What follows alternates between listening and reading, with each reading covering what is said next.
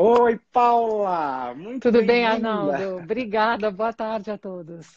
Então, estou dando aqui o boa tarde, avisando que a nossa live hoje deriva um pouco de uma conversa. Para quem não conhece ainda o podcast do Lorenzato, deve entrar, é, porque é, a gente conversa toda semana com os nossos agora ouvintes, né, nesse rádio moderno. A gente tem esse podcast que fala de gastronomia. E uh, a Paula é a entrevistada desse fim de semana. Ali vocês vão achar uma coisa engraçada, porque eu estava com um bigodão lá. É... Mudou. E aí mudei completamente, né? Queria que você contasse, então, o que é o Tá na Mesa e o que é esse projeto. Legal, Arnaldo. Obrigada pelo, pelo convite. É um prazer estar com vocês agora à tarde. Bom, o Tá na Mesa ele é uma, é uma startup bem recente, a gente tem um ano de vida só. É uma startup ligada à gastronomia. E a gente tem uma, uma, proposta um pouco diferente dos demais sites, porque a gente fez uma pesquisa grande, os sites são, a maioria deles, um repositório só de receitas. E a gente entende que a gastronomia é muito mais rica do que isso, a gastronomia é muito mais ampla do que só ser um repositório de receitas.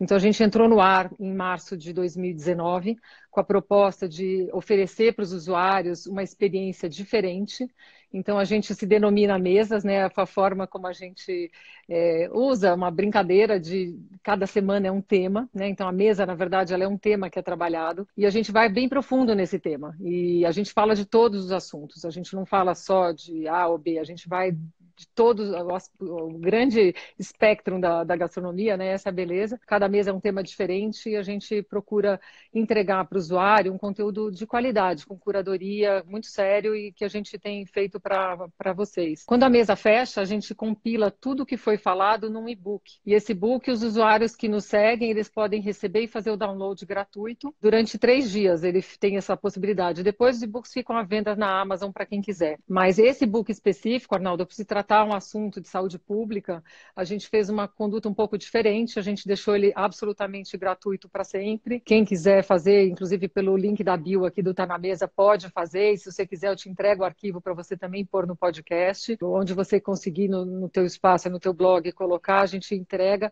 porque a ideia é que esse e-book voe mesmo. Enquanto a gente não tem uma vacina e a gente não tem um remédio, a coisa mais importante que a gente pode hoje usar como arma contra o coronavírus é a nossa alimentação. Nos manter saudáveis, saudáveis, nos manter bem, nos manter equilibrados e isso é muito importante, né? Por isso que a gente gerou esse material em parceria com, com as clínicas Einstein. O Tá na Mesa tem um livro por semana, o que é uma coisa recorde, né? É. E vocês já têm 54? 54 livros publicados. É, a gente tem de teu... pudim, de chocolate, de tudo. Do, já tem bastante. Vem muito mais por aí, né? Cada semana, semana que vem entra chocolate por causa da Páscoa. Essa semana a gente estava falando de bacalhau. Então, cada semana é um tema e a gente traz sempre uma uma curadoria enorme de receitas novas para o usuário. Agora, essas receitas são todas testadas. São. A gente tem uma linha de produção enorme né, por trás da receita. A gente primeiro faz uma pesquisa enorme de que receita que a gente vai produzir, com base do que a gente quer explorar naquele, naquela semana. E aí tem toda uma equipe de revisão, de edição de texto, tradução, tem nutricionista, tem um time que faz parte do nosso trabalho. Que legal. Eu queria falar um, que você falasse um pouco da produção desse livro, né? É, o que, que ele traz, Paula? É, esse livro aqui, acho que você também deve estar com essa foto aqui na capa. Ele é a produção que a gente gerou essa semana, é, em conjunto com as clínicas Einstein. Para quem não conhece, as clínicas, ela é o braço do Hospital Albert Einstein que cuida da saúde da família. Então a gente fez uma parceria com eles e que todo mês a gente aborda um assunto, algum benefício que uma pessoa pode ter em termos alimentares em relação a uma doença. Então a gente já falou de hipertensão, agora falamos de imunidade. O mês que vem a gente vai falar de câncer, tem alergias, vão ter N restrições alimentares, a gente são 24 mesas que a gente está fazendo para o Einstein. E essa parceria foi uma tremenda ah, responsabilidade para nós, porque o Einstein tem uma equipe enorme, e quando estourou a pandemia, né, no dia 11, quando decretaram que era uma, uma pandemia, e parece que foi ontem, né, só faz 20 dias que a Organização Mundial de Saúde decretou isso, nós corremos, a gente ligou para as clínicas e eles foram muito parceiros. Eles falaram, olha, realmente isso vai ser o assunto que vão, vai ter muita demanda, vamos parar tudo, a gente tinha uma linha de produção já de mesas andando, porque a gente já tinha mesas estruturadas até o segundo semestre, mas a gente parou tudo e falou: não, vamos fazer uma mesa falando de imunidade, porque é um assunto super importante. E eles Agora, foram muito Paula, parceiros. Só, só uma coisa: você está contando esse bastidor, mas a gente precisa alertar as pessoas que, é, primeiro, é, comida é, saudável não quer dizer comida chata e nem ruim. Então, a primeira não, coisa. Pelo contrário. É, é. Eu, porque eu já folhei o livro, enfim, é. folhei é bom, né? Porque a gente tem essa coisa de, de, de é, é, gente antiga que pega livro de papel, né? Mas eu já escrolei o livro, já olhei as páginas e tal, e tem receitas deliciosas, né? Então, assim, a gente não pode ver isso como salvação, em hipótese alguma, mas elas vão melhorar não. a sua performance, né? É, então, a gente sabe que não existe um ingrediente milagroso, né? Que comendo isso você está livre do coronavírus. O que a gente sabe é que uma alimentação saudável vai te ajudar a proteger o seu sistema imunológico e aí sim você tem melhores chances de não pegar ou se pegar ter uma, uma versão mais leve, né? Da, da enfrentar melhor, né? Enfrentar melhor. Tem aqui uma receita para começar, Paula, que eu adorei. É que a sua canja de galinha. Eu vou ah. dizer que a melhor canja de galinha do mundo era da minha mãe. Canja de galinha ajuda então, você sabe que a canja ela tem um fenômeno muito engraçado, né? Que as pessoas associam ela com tá doente ou tá gripado. E aí eu fui ler um pouco sobre isso, o que faz a canja ser um alimento tão fácil né, de consumir, primeiro porque ele não tem nenhum tempero que causa dificuldade na nossa digestão. E o principal ingrediente da canja que faz ela ser tão palatável quando a gente está doente é o arroz, Arnaldo. O arroz é tido como um dos alimentos mais neutros e que a gente pode consumir porque ele é super fácil a digestão.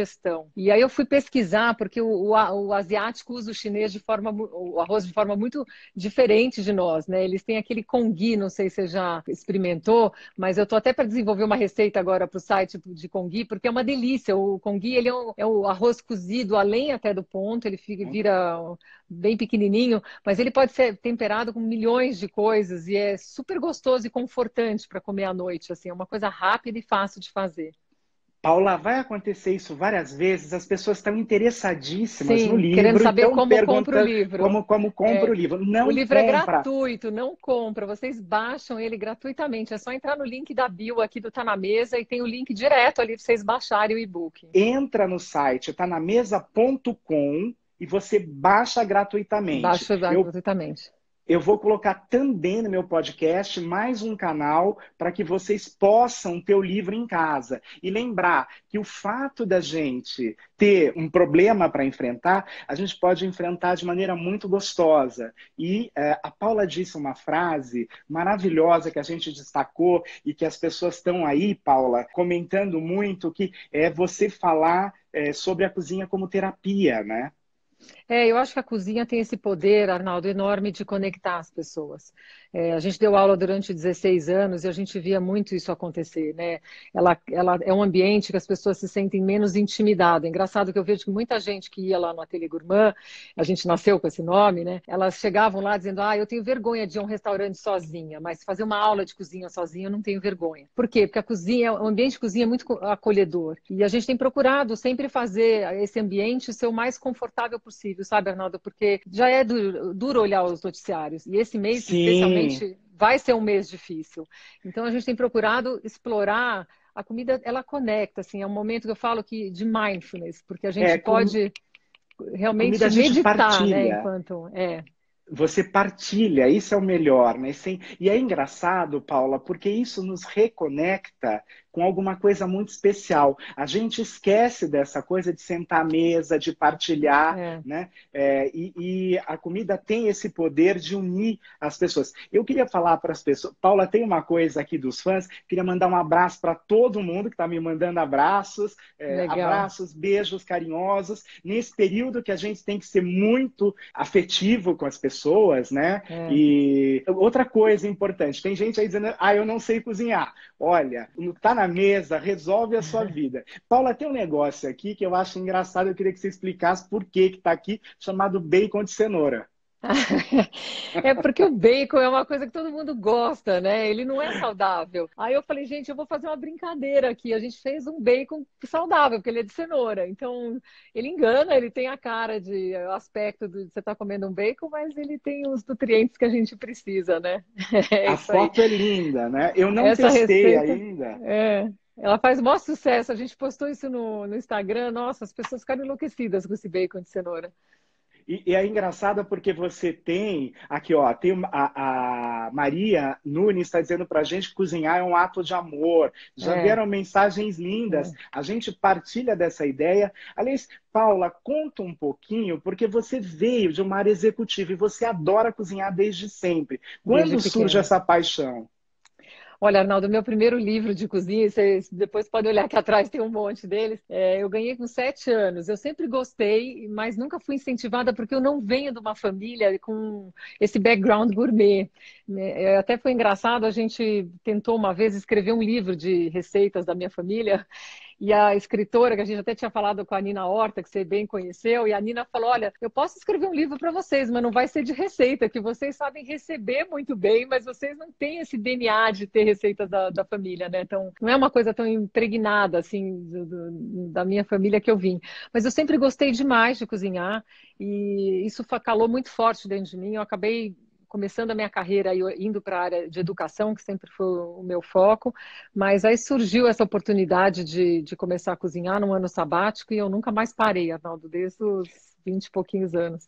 E a Paula cozinha bem, eu já fui à casa dela. Uhum. Aliás, assim, quero mandar um beijo para aquela padeira gaúcha maravilhosa que você que vai apresentar, nem vou falar nome, né? Eu vou convidar ela fez... para fazer uma live aqui. Muito bem, faz muito Aline bem. A Aline é ótima. É, A Aline faz pães maravilhosos. Eu fui na Paula é, e ela tinha os pães e teve um almoço e a Paula cozinha divinamente. Isso eu posso garantir para vocês. Uma comida que não tem nada a ver com restaurante, uma comida maravilhosamente afetiva de quem sabe receber as pessoas.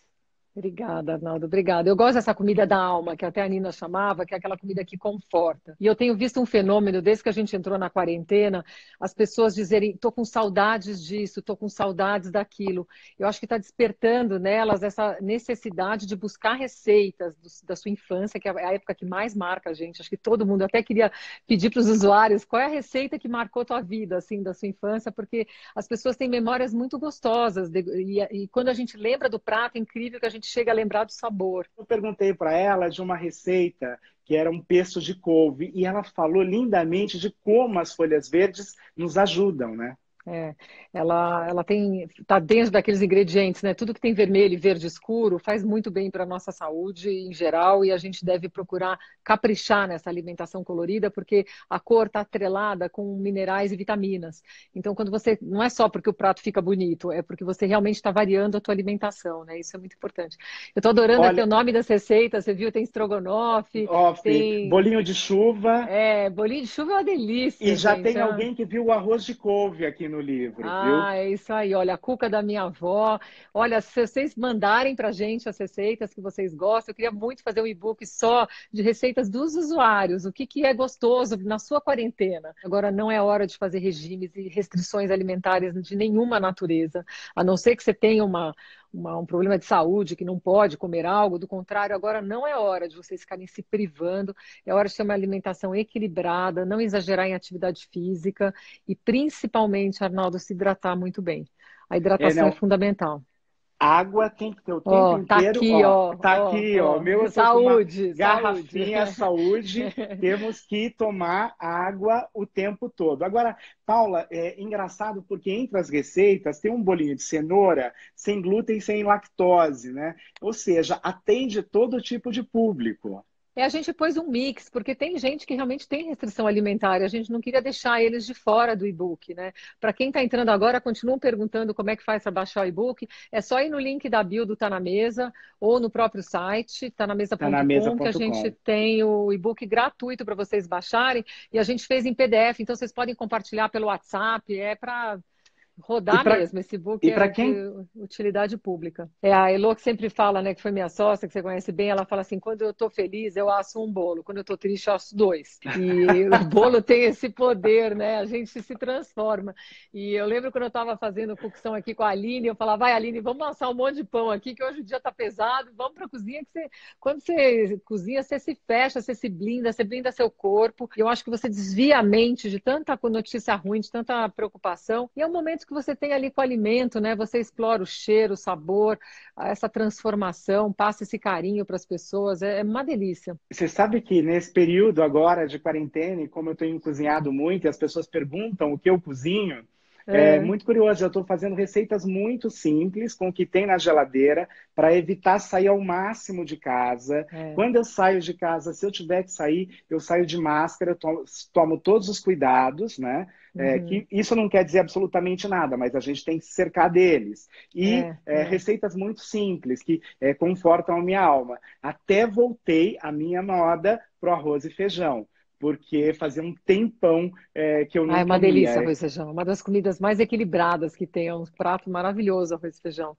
é tão nosso e tão gostoso, né? E a gente está dando ao longo desses dias, a esse mês, muitas dicas de como facilitar a vida das pessoas na cozinha, como deixar o preparo, né, Arnaldo, mais fácil, porque eu tenho procurado a semana, a gente fez uma live sobre picadinho, ou carne moída, aliás, e a gente já deu duas receitas, porque aí já que você vai fazer, já faz uma vez, congela para não ter aquela coisa de todo dia, aquela pressão, né? Eu vejo minhas amigas dizendo, ai, por favor, não me venham perguntar o que, que tem no jantar, não sei, ainda não, não pensei. As pessoas estão um pouco agoniadas com essa demanda de, de ter que passar Olha o a cozinhar o dia para noite. É. Arroz é. com feijão, a Márcia Ruda adora, a Adriana Pelódia. É. é. é. um assunto engraçado, porque cala fundo ao brasileiro arroz com feijão, né? Os cozidos e os assados ajudam muito nesse período, porque eles não, de, não dependem que a gente fique o tempo inteiro ali cozinhando, né? É. Porque senão a gente está perdido, né? Você ficar grudado Olha... no fogão.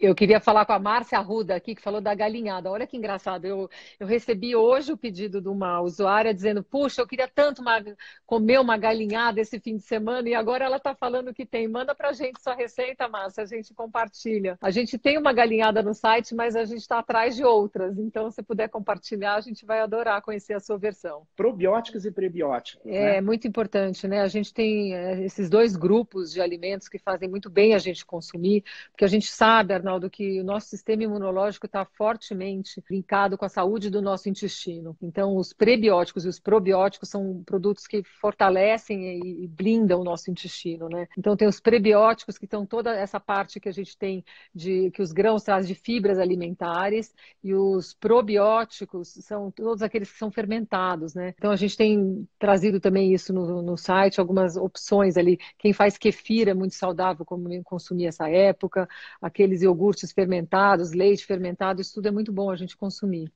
Paula, explica o que é kefir, porque, é, olha, ah, tem o gente kefir, é. O kefir é, ele, puxa, se eu soubesse, eu tinha até pego, eu tenho aqui na, na cozinha, não quero agora sair, senão vai ficar... Não, não, não. É, mas a gente está com muita é gente na sala interessada é, em te ouvir. O kefir, ele é um, um, uma cultura de bactérias que causam a, a, fermentação do leite, pode ser da água também. E o kefir é uma delícia, porque você faz iogurte natural com ele.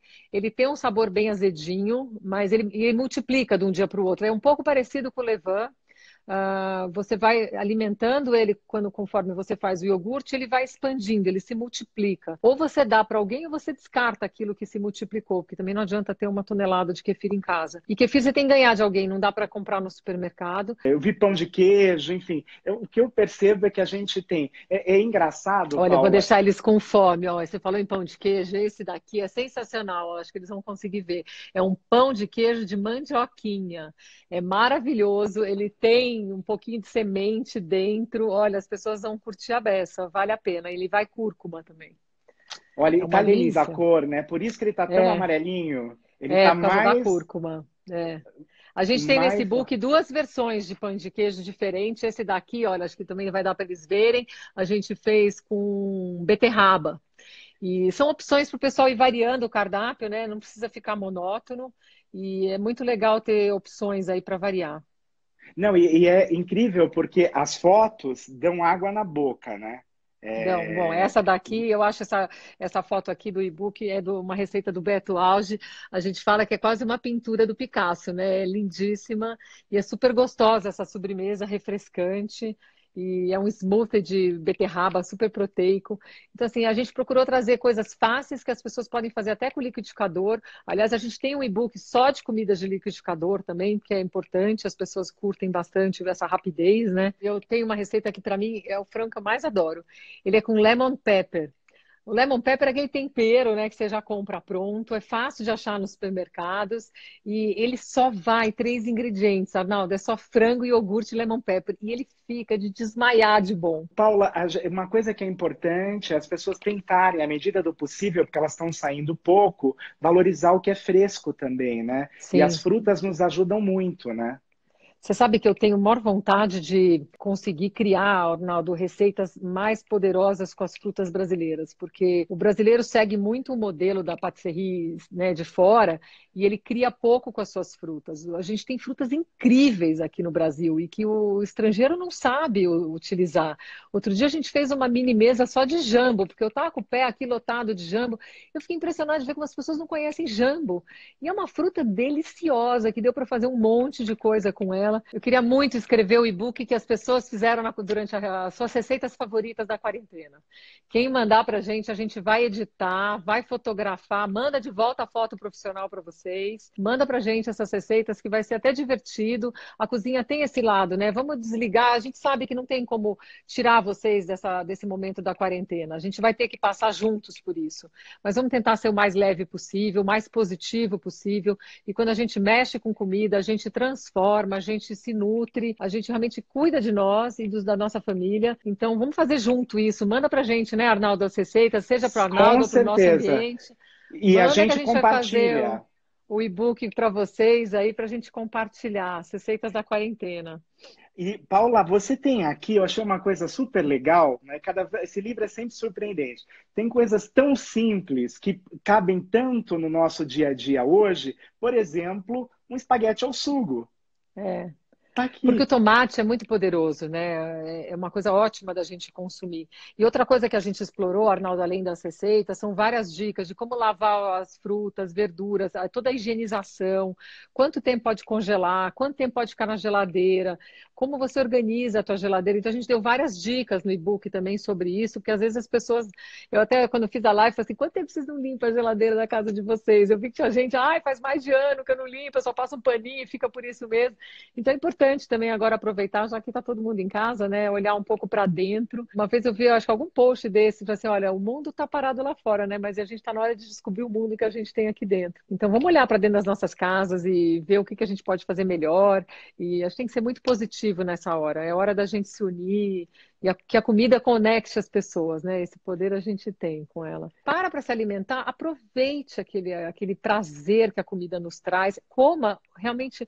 Por isso que eu falo de mindfulness, né? Porque você come sentindo, degustando, aproveitando aquela comida. Mas você não precisa comer o bolo inteiro, você pode comer uma colher. Eu, eu como de tudo e não sou uma pessoa gorda, assim, então acho que vale a pena as pessoas lembrarem que o que faz a diferença é a quantidade é, todo mundo se, se cuidar, pode comer de tudo. Óbvio que a gente sabe que tem pessoas que têm mais tendências, outras têm menos, mas a gente sabe também que a comida é. A gente confunde muito comida com emoção. Teve aqui alguém citando, as pessoas pararam de mandar suas receitas, né? É, alguém citou estrogonofe. Você tem um estrogonofe vegetariano de cogumelo shiitake? Tenho, é, tem, tem sim. A gente tem vários estrogonofes no site. Aqui a gente colocou um vegetariano. Tem até um, é, acho que tem mais de um no site, aliás. Mas essa receita é muito gostosa.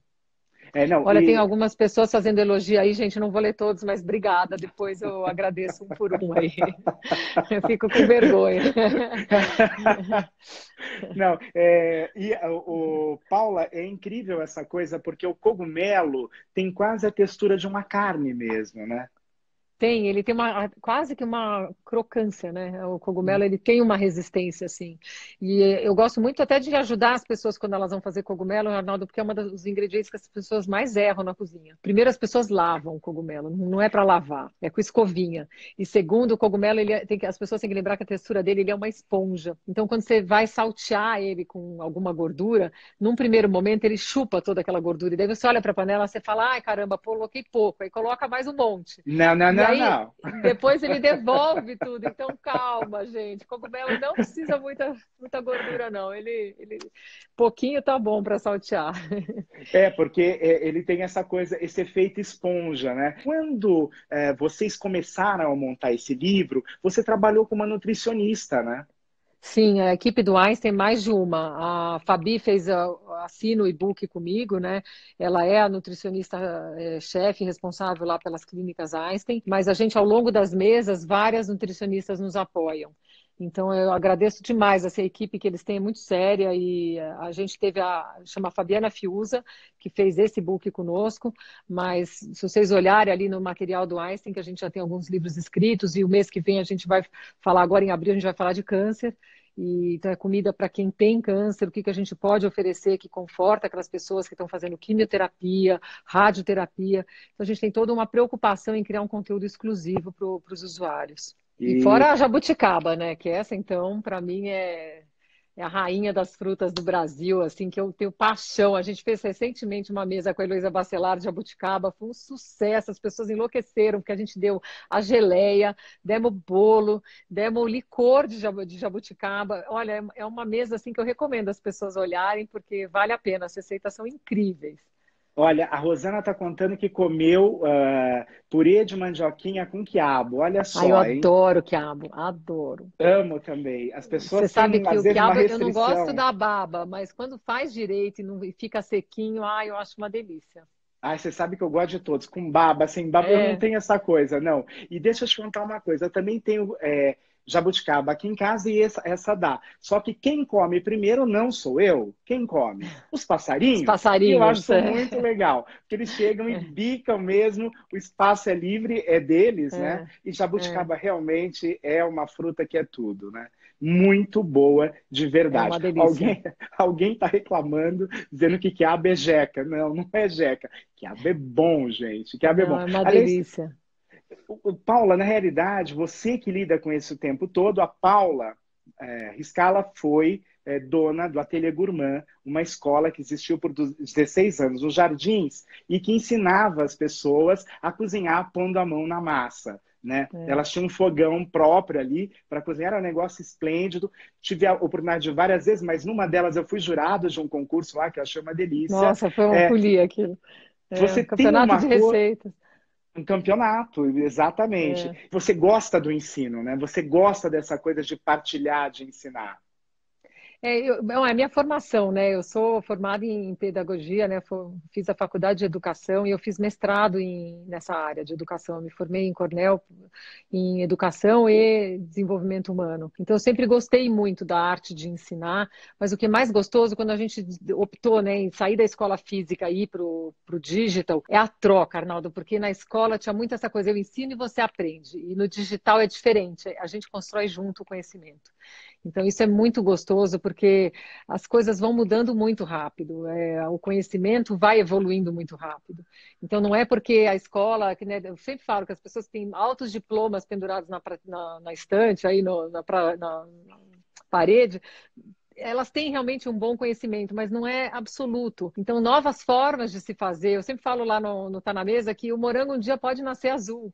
A gente aceita isso, porque às vezes fizeram assim a vida inteira, mas pode ser que alguém descubra uma forma melhor né, de fazer. Então, a gente é muito aberta com o usuário de falar: olha, conta pra gente como você fez, porque aí a gente aprende junto, e isso é muito legal. Acho que o digital tem essa e acho que agora as pessoas estão aprendendo, né? Nesse momento de quarentena, que está todo mundo fazendo aula junto, esses monte de lives, esse monte de uh, gadgets aí que estão surgindo de reuniões online, é, é muito bom, porque as pessoas estão aprendendo a construir junto o conhecimento. Isso é, é legal quando dava aula, era engraçado porque eu colocava no forno, ao mesmo tempo, 60 quiches. A aula de quiche que eu dava era simultânea, todo mundo fazia, eram 12 alunos, cada um fazia quatro. E eu colocava 60 quiches ao mesmo tempo e eu falava, gente, é tão engraçado ver a reação das pessoas em relação à comida. Tinha um sempre olhava assim, tem certeza que aquela que vazou é a minha. E eu falava, cara, tem 60 quiches no forno, como é que você sabe que essa é a sua? Então, as pessoas passam muito da emoção. E é, é, muito legal essa, esse poder da comida. E olha, eu espero que as pessoas aproveitem, já que estão em quarentena, né? Que aproveitem esse momento para cozinhar, para se acalmar, se acalentar, né? E nutrir sua família. Olha, incrível. Gente de Conceição do Mato de dentro de Minas Gerais, é. de Recife, de Maringá, de Curitiba. Olha, estou impressionado. Tem gente de todas as partes. Tem gente de fora do Brasil. Isso é incrível a gente ter é, essa longa conversa aqui. Para a gente ir se despedindo, Paula, vamos falar Obrigada. de novo como vamos é, lá. a gente O e-book está no link livro. da bio, está é, tá no link da bio do Tá na Mesa ou no próprio site. Vocês conseguem achar todos os nossos e-books. E lembrando que toda segunda-feira a gente faz o e-book de novo para vocês. Então, quem quiser ir colecionando, a gente sempre tem um assunto novo e está vindo aí a mesa de chocolate, da minha autoria. Eu acho que vocês vão gostar, porque tem receitas muito legais. Então é isso, olha, minha gente, é, a gente vai encerrar porque eu vi que vocês estão animadíssimos. É. A gente está aqui há uma hora batendo. Uma hora não tem jeito, é o limite Foi, deles. É, uma delícia, né, Paula? Obrigada, Arnaldo. Obrigada pelo convite. É sempre um prazer estar com você.